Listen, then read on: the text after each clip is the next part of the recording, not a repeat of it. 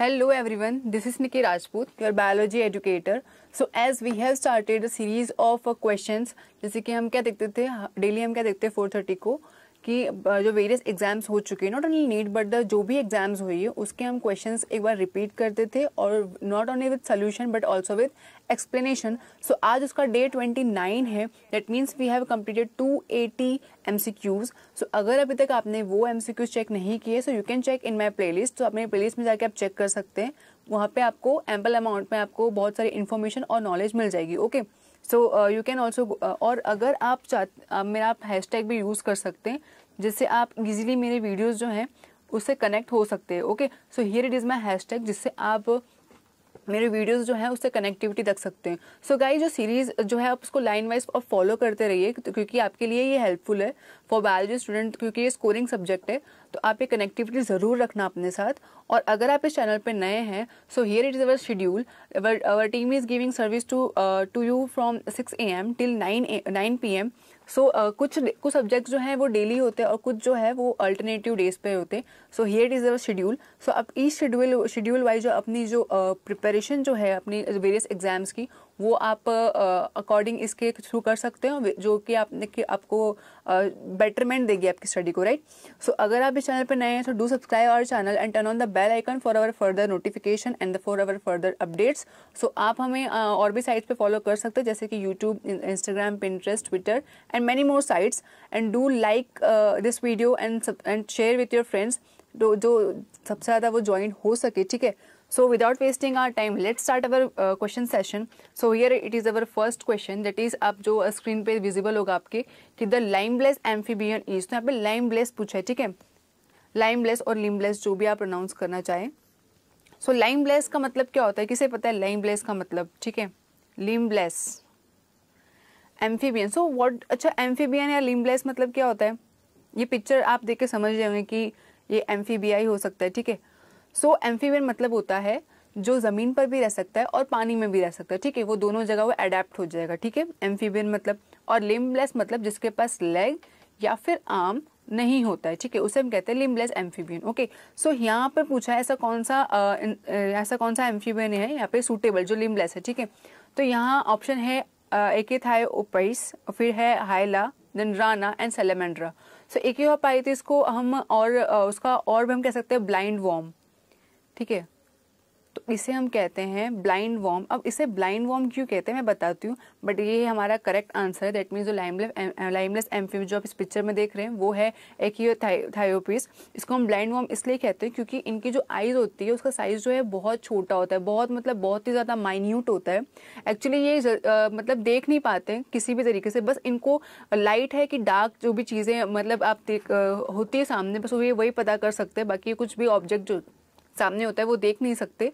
कुछ कुछ की जो स्किन होती है, वो उनके आइज़ पे होती है। मतलब वो बिल्कुल ही ब्लाइंड होते हैं, वो वो भी नहीं देख सकते कि लाइट है या डार्क है। बट यस इनकी आइज़ जो होती है, वो बहुत ज़्यादा माइन्यूट होती है, इसलिए हम इसको ब्लाइंड वॉर्म कहते हैं, ठीक है? तो आप ये याद रख सकते हैं, ठीक है? अगर ये भी पूछा गया ब्लाइंड वॉर्म भी पूछा जाए तो आप लिख सकते हैं, ठीक है? यहाँ पे हमने हमें हमसे पूछा गया था limbless amphibian so yeah A is our correct answer और यहाँ पे जो हाइला रैना दिया so it is a species of frog ठीक है? सेलेमेंटर जैसे आप जानते ही हैं it is a group is a family belongs to the lizard family ठीक है? So yes A is our correct answer hello everyone good afternoon okay you can also comment in my comment section I will reply अगर आपको कोई भी doubt है तो आप मुझे कमेंट सेक्शन में कमेंट करके बता सकते हैं, ठीक है? So now moving to next question that is the intestine is different from the stomach by the presence of मतलब यहाँ पे आप पूछा है कि इंटेस्टाइन हमारा किस तरीके से अलग हुआ compare to our stomach so here our option is digestive gland और विलाय सब म्यूकोसा और सैरोसा सो so, जैसे कि आप ये पिक्चर में देख रहे होंगे तो uh, ये पिक्चर किसकी है? आप uh, गैस कर सकते हैं पिक्चर किसकी है? सो so, ये पिक्चर uh, बहुत ही इजी वे में आप बता भी सकते हैं इसका आंसर ठीक है? से फिंगर लाइक जो प्रोजेक्शन आप जो पैनल पे देख रहे हैं तो ये किसकी पिक्चर है? सो दे फिंगर लाइक जो प्रोजेक्शन आप देख रहे हैं ये पिक्चर है विलाई के। सो so, विलाई जो है ये बनाता है इंटेस्टाइन को स्टमक से डिफरेंट जैसे कुछ डाइजेस्टिव ग्लैंड है सेलिवरी ग्लैंड हुआ और भी जो पेंक्रियाटिक जूस होते हैं जो भी सिक्रीट करते हैं वो तो स्टमक में भी होते हैं और माउथ में भी होते हैं। बाकी जो ये सब म्यूकोसा सेरोसा है वो ये अलग नहीं बनाता इंटेस्टाइन को ठीक है? एंड अलग बनाता है विलाई जो क्या करता है मैक्सिमम अब्जॉर्प्शन ऑफ़ न्यूट्रिएंट्स करता है। मतलब जो न्यूट्रिएंट जो फ़ूड में होते हैं उसका मैक्सिमम अब्जॉर्प्शन करके उसको ब्लड स्ट्रीम में फ्लो करता है ताकि जो जो भी बॉडी जो है जितना सफिशिएंट अमाउंट में उसको चाहिए न्यूट्रिएंट्स वो उसको ईजिली मिल सके। सो so, विलाई का जो जनरली काम क्या होता है मैक्सिमम अब्जॉर्प्शन करना okay so B is our correct answer now the next question is the EMP pathway in eukaryotes usually takes place in यहाँ पे पूछा है pathway. So uh, EMP pathway जो है ये क्या करता है? अगर ये पता हो तो आप ये भी कमेंट सेक्शन में आप कमेंट करके मुझे बता सकते हैं या फिर इसका फुल फॉर्म पता हो तो वही बता सकते हैं. और यू कैरेट्स मतलब पता ही होगा आपको जिसका न्यूक्लियस जो है वो वेल डिफाइंड होता है उसे हम कहते हैं यू कैरेट ठीक है? So E M P pathway ये नेम रखा गया था by the three scientist three scientist ने ये जो थीसिस जो थी वो दी गई थी फ़र्स्ट इज़ एमडन और फिर था Meyerhof and third one was a Parnas ठीक है? तो ये तीनों साइंटिस्ट ने, ये थीसी जो दी गई थी, इसमें क्या हुआ था? ग्लूकोज को कन्वर्जन किसमें किया था? पायरुवेट में। ठीक है? सो ये चीज़, ये इसमें हुआ था।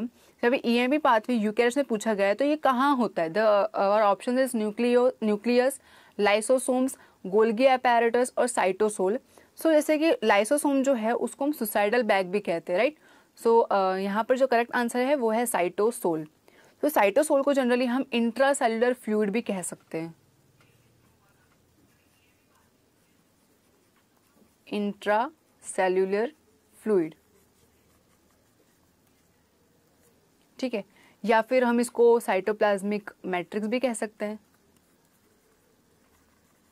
साइटोप्लाज्मिक मैट्रिक्स सो ये भी टर्म हम यूज़ कर सकते हैं for cytosol so E M P pathway in eukaryotes usually takes place in cytosol okay so D is our correct answer now the next question is who regulate the peristalsis of the intestine? So peristalsis का मतलब होता है जैसे कि कोई भी food है suppose यहाँ से अगर वो एंटर हो रहा है ठीक है कोई भी ट्यूब में मे बी वो इसोफेगस या फिर स्मॉल इंटेस्टन में अगर वो स्टमक में एंटर हो रहा है तो उसको भी एक स्पेस चाहिए होगी उसको कोई एडिक्वेट स्पेस चाहिए होगी। सो so, यहाँ पे जो मसल का जो कॉन्ट्रैक्शन हो रहा है ना ये देखो आप देख रहे हैं कि कॉन्ट्रैक्शन हो रहा है फिर वहाँ पे वो जो उसकी पहले जैसी प्लेस थी प्रीवियस वैसे वो फिर आ जा रहा है। फिर वापस ही नीचे से कॉन्ट्रैक्ट रहा। है तो जो कॉन्ट्रैक्शन बोलते हैं ना, उसको कहते हैं पेरिस्टालिसिस ठीक है?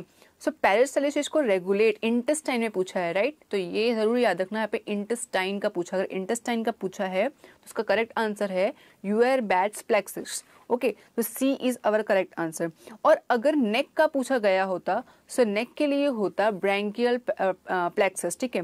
और प्लेक्सिस मतलब होता है नेटवर्क ठीक है? प्लेक्सिस मतलब होता है नेटवर्क और अगर नेक में पूछा गया होता अगर यहाँ पे क्वेश्चन में होता है नेक सो so, हमारा आंसर होता है ब्रैंकियल और अगर पेल्विस या फिर लोअर लिम में पूछा गया होता सो so वो हमारा आंसर होता है सैक्रल प्लेक्सिस प्लेक्सिस मतलब होता है नेटवर्क और डिस्कोडियल प्लेक्सिस जो है जो सेरोसा है उसके नीचे जो रीजन होता है वहाँ पर होता है डिस्कॉइडल प्लेक्सिस जो क्या करता है कॉन्ट्रेक्शन करता है और फिर वापस जो जो भी वो ऑर्गन होता है वो अपनी जगह पे पहले जैसा आ जाता है। तो यहाँ पर जो करेक्ट आंसर है इंटेस्टाइन को लेकर जो पूछा है, वो है और bach's plexus so C is our correct answer now our next question is once the acute gut attack has taken place how long does pharmacologic therapy can be initiated okay so यहाँ पूछा, अगर एक बार acute gut attack अगर आपको आ गया, ठीक है? सो वो जो फार्माला फार्माकोलॉजिक थेरेपी जो बाकी जो डायग्नाइज जो है, उसके लिए कितना टाइम जो है वो सफिशियंट है? उससे ज़्यादा होगा तो वो आपके लिए क्रोनिक बन सकता है, ठीक है? सो हमारे ऑप्शन है आफ्टर फोर्टी एट आवर्स और विद इन वन आवर और within twenty four hours और after twenty four hours so first of all gut क्या है? ये जी ओ यू टी आप जो देख रहे हैं, ये टर्म जो है, इसका मतलब क्या है?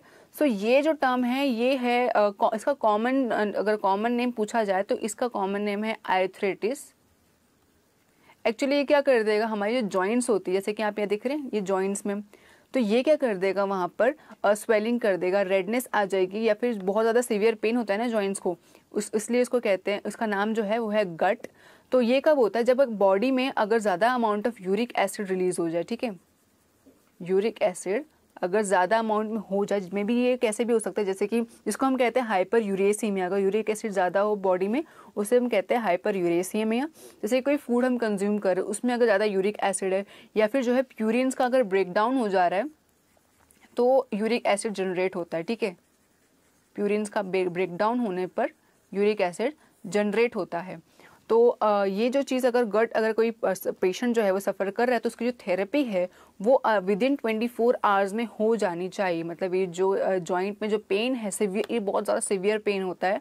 सो ये ये पेन जो है स्वेलिंग जो रेडनेस जो आ जाएगी आपके फीट में मोस्टली फीट में होता है।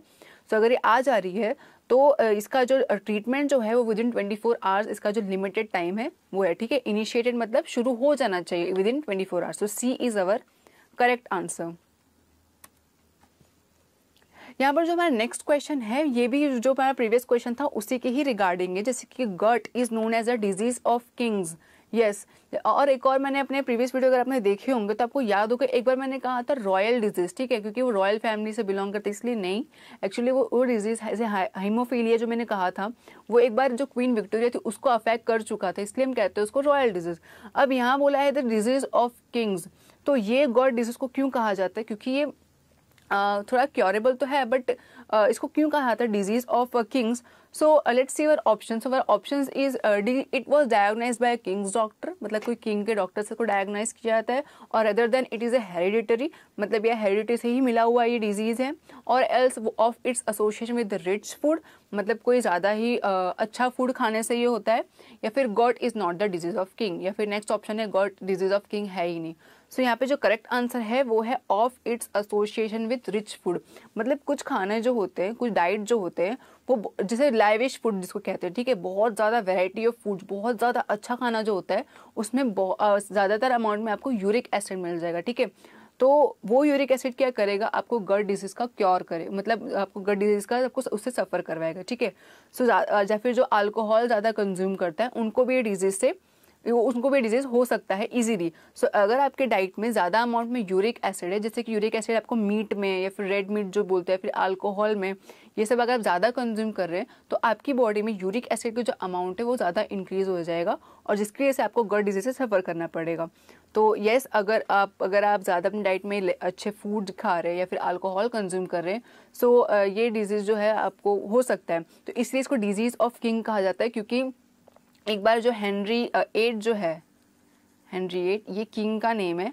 सो so, ये किंग को ये डिज़ीज़ सफ़र करना पड़ा था। मे बी वो अल्कोहल ज़्यादा कंज्यूम करते होंगे या फिर उनकी जो डाइट है वो ज़्यादा होती होगी। अच्छे फ़ूड से जिनमें यूरिक एसिड जो है वो ज़्यादा होता होगा। इसकी वजह से उनको ये हुआ था इसलिए कहते हैं इनको disease of king so royal disease और डिज़ीज़ ऑफ़ किंग जो है ये ये क्वेश्चन जो है ये मुझे इंपॉर्टेंट लगता है। तो आप इसको ज़रूर याद रखना या फिर कहीं भी नोट कर लेना ठीक है? Now moving to next question which of the following statement is incorrect about agar यहाँ पे पूछा है यहाँ पे जो आप पिक्चर में जो देख रहे हैं ये अगार की पिक्चर है। ये अगार कहाँ यूजफुल होता है फ़र्स्ट ऑफ़ ऑल सो ये अगार की जो प्लेट बनती है जैसे कोई भी कल्चर है जैसे कि uh, कोई प्लांट में प्लांट का अगर देखना हो या फिर एनिमल uh, का कोई भी कल्चर देखना हो उसको माइक्रोस्कोपिक लेवल पर देखना हो सो ये अगार मीडिया बनाया जाता है। अब यहाँ पूछा इनमें से कौन सा स्टेटमेंट उनके लिए इनकरेक्ट है राइट हमें इनकरेक्ट ढूंढना है। सो फ़र्स्ट देखते हैं हमारा first option that is remain stable at incubation temperature मतलब अगर हम इसे इंक्यूबेटर में रखेंगे तो उसका जो टेम्परेचर है वो मेंटेन रहेगा। सो so, यस yes, ये ये ऑप्शन जो है वो करेक्ट है। अगर हम इसको इंक्यूबेटर में रख रहे हैं तो uh, इसका जो टेम्परेचर uh, जो है इसका जो uh, इसका जो टेक्सचर है वो मेंटेन रहेगा। So A is our correct answer now does not react with media constituent so yes ये मतलब कोई भी मीडिया अगर हम ऊपर डालेंगे तो उसके साथ रिएक्ट नहीं करने वाला है। तो येस ये भी आंसर जो करेक्ट है। Next is the does not use in micropropagation work मतलब कि ये जो है माइक्रो प्रोपागेशन वर्क में इसका यूज़ नहीं होता है। सो so ये ये स्टेटमेंट जो है ये इनकरेक्ट है, क्योंकि अगर जो माइक्रोबायोलॉजिस्ट जो होते हैं, वो इसका यूज़ जो है करते हैं, ठीक है? देखना हो उनका कल्चर देखना हो, किसी भी चीज़ का स्पीशीज़ देखनी हो। सो ये उनका यूज़ करते हैं। सो ये स्टेटमेंट जो है, वो गलत है। और नेक्स्ट था not digested by plant enzyme तो ये ऑप्शन भी करेक्ट है। मतलब ये प्लांट एंजाइम जो है, इसको डाइजेस्ट नहीं कर सकते। तो C is our correct answer because ये इनकरेक्ट स्टेटमेंट है। तो yes C is our correct answer now the next question is free central placentation is found in if you know then you can answer me free central placentation is found in so first of all free central placentation क्या होता है, ठीक है? सो यहाँ पे जो आप ovules देख रहे हैं, ठीक है, ये ओव्यूल जो है, ये होगा सेंट्रल में, ठीक है? ये होगा कॉलम में किसके? कंपाउंड ओवरी के। सो कंपाउंड ओवरी के कॉलम में जो ओव्यूल्स होते हैं सेंटर में, उन्हें कहते हैं हम फ्री सेंटर प्लेसेंटेशन तो यहाँ हमारे ऑप्शन है सिट्रस और ब्रेसिका और एगमैन और डायंथस। सो फ़र्स्ट जो सिट्रस है सिर्फ़ सिट्रस के जैसे सिट्रस फ्रूट्स जैसे होते हैं जैसे कि लेम लेमन ऑरेंजेस और ग्रेप्स जो होते हैं तो उसे हम सिट्रस फ्रूट कहते हैं। फिर नेक्स्ट आता है ब्रेसिका जो बिलोंग करते हैं कैबेज या फिर मस्टर्ड uh, फैमिली को। फिर नेक्स्ट आता है आर्गिमॉन्स तो ये होते हैं अमेरिकन हर्ब्स जो होते हैं इनके जो लीव्स इनके जो फ्लावर्स होते हैं वो येलो कलर के होते हैं। और डायंथस जो होते हैं, इनके फ्लावर्स जो होते हैं, वो पिंक कलर के होते हैं, ठीक है? सो डायंथस जो है, ये हमारा करेक्ट ऑप्शन है that is free center placentation जो है, इनमें से डायंथस में देखा जाता है, ठीक? ओके तो D is our correct answer now the next question is boosting the intake of dash can help women trying to conceive मतलब कंसीव मतलब क्या? तो प्रेगनेंसी कंसीव कर सकती है। सो so, यहाँ पर था कि हम अपनी डाइट में फिर कैसे भी हम क्या इनटेक करेंगे तो वुमेन जो है वो केपेबल हो पाएगी जो भी बेबी है उसको कंसीव करने में। सो so, इसमें जो करेक्ट आंसर है वो है फोलिक एसिड सो येस अगर विद इन ट्वेल्व टू जितने भी वीक्स में अगर वो ट्वेल्व वीक्स बिफोर प्रेगनेंसी या फिर बिफोर कंसीविंग अगर वो लेडी जो है अगर कंज्यूम करती है फोलिक एसिड सो वो क्या कर सकती है? बेबी को कोई भी न्यूरोलॉजिकल uh, डिज़ीज़ जो होती है वो उसे प्रिवेंट कर सकती है। मतलब ब्रेन की जो भी डिज़ीज़ होती है उससे उसको बचा सकती है। सो अगर अपने डाइट में अगर फोलिक एसिड या फिर कैसे भी आप पिल्स लेकर अगर आप फोलिक एसिड कंज्यूम करते हैं सो वो क्या कर देगा? बूस्ट कर देगा आपको ठीक है?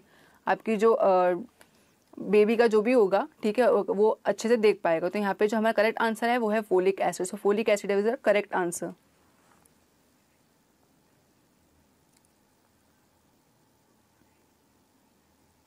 thank you thank you so much if you are enjoying if you are liking my video तो थैंक यू सो मच तो हिट अपने लाइक बटन भी हिट हिट कर दो और शेयर कर दो अपने फ्रेंड्स के साथ if you are if you are liking my video okay now ये समझ में आया कि अगर वुमेन को अगर बूस्ट करना हो तो क्या कंज्यूम कर सकती है? तो डेट इज़ पोलिक एसिड अपने डाइट में, फिर उसकी जो पिल्स आती है, वो आप ले सकते हो। तो ये बेस्ट रहेगा, ठीक है? So folic acid is a correct answer now the la the next question is the condition where there is a no enough food in a region to feed people is known as मतलब कि क्या इसमें पूछा है कि ऐसी condition जहाँ पर लोगों को इनफ अमाउंट में प्रॉपर एडिक्वेट अमाउंट में, जैसे कि पर डे में उसे इतना खाना है, फिर जितनी किलो कैलोरी उसको ज़रूरत है, उसको नहीं मिल पाती है, फिर उससे भी बहुत कम, काफ़ी टाइम तक या फिर काफ़ी महीनों तक नहीं मिलती है तो ऐसी सिचुएशन को क्या बोलते हैं?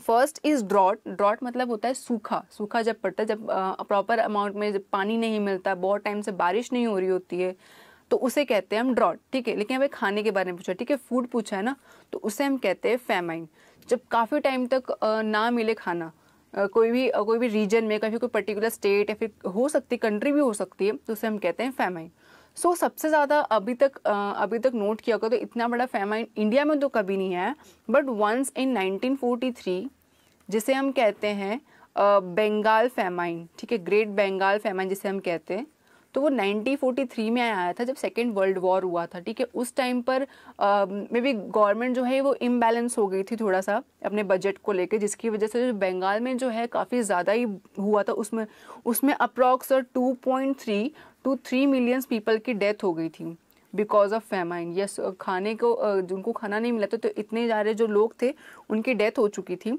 और अगर वर्ल्ड में पूछा जाए तो वर्ल्ड में अराउंड 1958 या फिर 1962 तक कहाँ पर जो Chinese famine the great Chinese famine जिसको कहते हैं, वो हुआ था, उसमें अराउंड 15 मिलियंस अराउंड पीपल उनकी डेथ हुई थी ड्यू टू फेमाइन सो आप ये जो है वो एक बार नोट कर सकते हैं कि इंडिया में अगर पूछा जाए तो 1943 में उनको बंगाल फेमाइन जो है, वो around 2.3 two three millions people की डेथ हुई थी ड्यू टू फेमाइन उनको प्रॉपर एडिकुएट अमाउंट में फ़ूड नहीं मिला था. अगर वर्ल्ड में पूछा जाए तो वो है Chinese famine that is fifteen millions of people जो है उनकी डेथ हुई थी right so famine is the वो प्रॉपर टर्म जो है उसके लिए होता है, जैसे कि नॉट इनफ अमाउंट में अगर हमें फ़ूड नहीं मिलता जो रीजन जो है, वो जो लोग हैं जिनको प्रॉपर अमाउंट फ़ूड नहीं मिलता, जिसकी वजह से उनकी डेथ हो जाती है, उनके डेथ का रीजन सिर्फ़ होता है फ़ूड तो उसे हम कहते हैं famine so B is our correct answer